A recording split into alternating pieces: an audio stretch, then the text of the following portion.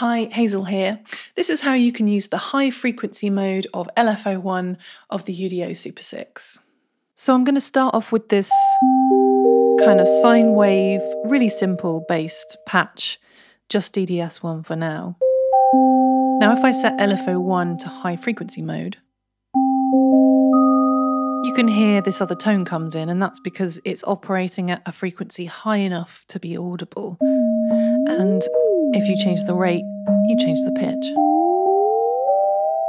Now you can hear that the pitch doesn't change as you change keys on the keyboard, and that could be quite useful for a kind of drone type effect.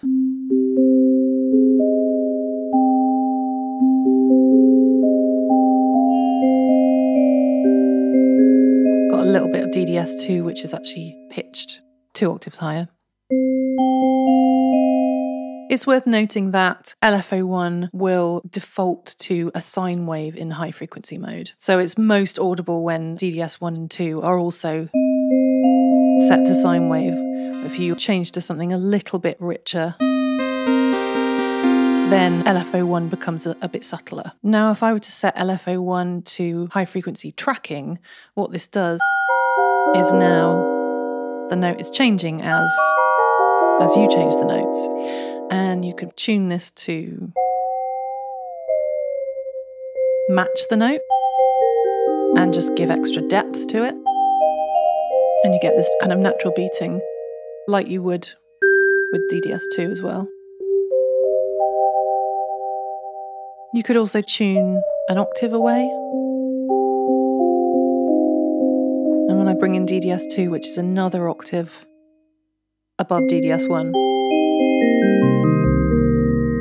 then you get quite an interesting, almost organ type sound because of all those overtones. Or you could get a bit more creative and just change the note completely.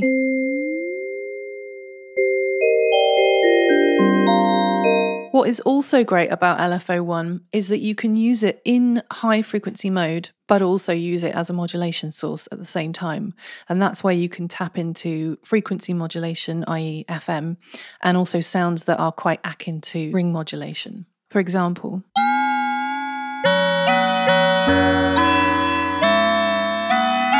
So here LFO1 is modulating the frequency of both DDS1 and 2. So you're getting this FM behavior.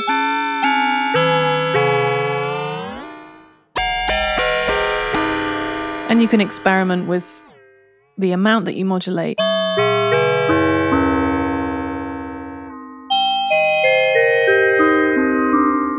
Now, if you were to modulate the amplitude of the VCA with LFO1, you get a similar kind of bell like sound, but a bit subtler. But you can obviously play around with the, the amount and with different waveforms.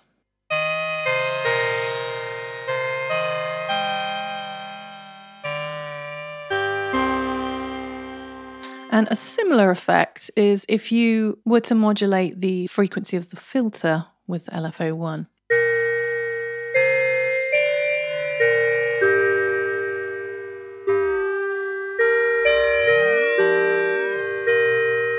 And of course, all of these can change when you change the pitch or the rate rather of LFO1.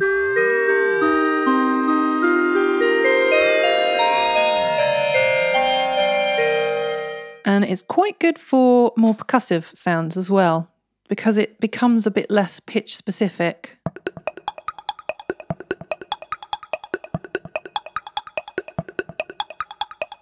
Thank you for watching, and I'll see you next time.